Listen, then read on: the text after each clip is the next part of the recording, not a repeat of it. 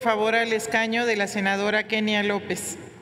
Muchas gracias, señor senador. La RAE dice que totalitarismo es una forma de Estado. Acabamos de escuchar con vehemencia a-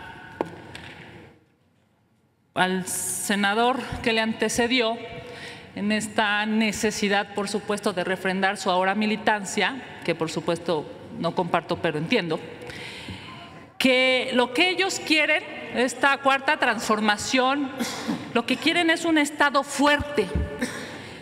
Bajo esta lógica de totalitarismo, pues también Stanley o Hitler tuvieron un Estado fuerte.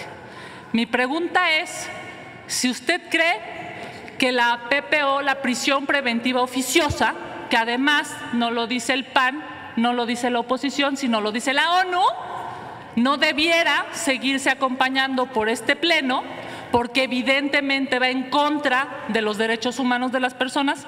Si usted cree que la prisión preventiva oficiosa podría llevarnos a un estado tan fuerte como el que el senador eh, pues con tanta vehemencia quiere o como el que quizá Hitler también quiso. Yo creo el uso de la prisión preventiva oficiosa y como se ha tipificado en el 19 constitucional y como aquí se discutió, es un absoluto exceso. Creo que fundamentar esta modificación de la Ley de Seguridad Nacional y el uso de la prisión preventiva oficiosa es parte de un modelo totalmente autoritario, de negación de derechos y libertades. Eso no tiene nada que ver con un Estado fuerte, tiene que ver con un Estado autoritario, el cual no queremos. Muchas gracias.